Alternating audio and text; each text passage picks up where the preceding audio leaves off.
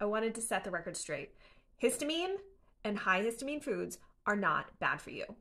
The reason that people have issues with histamine is because of something that's going on in their system.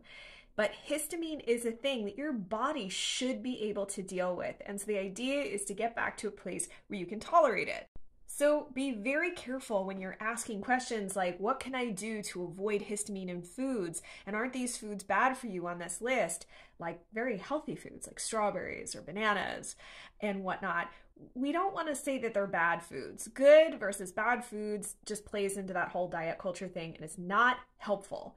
And there's really nothing you can do in terms of how the food is grown or how the food is produced to make it a low histamine food. So just know that when we're having this conversation about eating a lower histamine diet, it's specific to a person who needs to minimize their histamine exposure because of what's going on in their body for that period of time.